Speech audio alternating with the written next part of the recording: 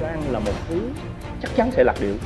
Chúng ta cần một cái sự tỉnh táo để chấp nhận sự lạc điệu và thay đổi chính mình. Tôi lại cho rằng những ngành như thế này lại là đỉnh cao của mọi nghệ thuật quản trị thành công nhất của nghệ thuật. Thực ra là sự huy hoàng của cái thật. Những người nghệ sĩ cần bám vào cái thật, mà cái thật đó là đúng như câu Hà Linh Thư vừa nói là, tôi vượt qua chính mình.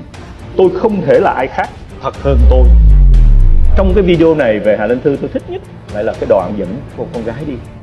Cái đứa bé, đứa con không phải là trách nhiệm của người mẹ như mọi người hiểu nghĩa đen, mà nó làm cho bạn ấy wake up và tỉnh thức về sự cân bằng. Đứa bé này đại diện cho trách nhiệm của doanh nghiệp. Một người CEO là một người mẹ của doanh nghiệp, chứ không phải là mẹ con mình.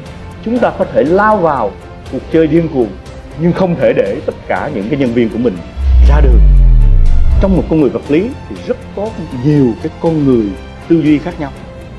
Và cái con người vật lý này, lúc thì tôi là một nghệ sĩ, lúc thì tôi là một nhà chiến lược, lúc thì tôi đi kinh doanh, người nghệ sĩ phải cân bằng và biết đặt mình đúng chỗ. Nếu định được giá trị của đích đến, thì phương tiện đi đến đích đến là điều không khó khăn lắm cho những người nghệ sĩ.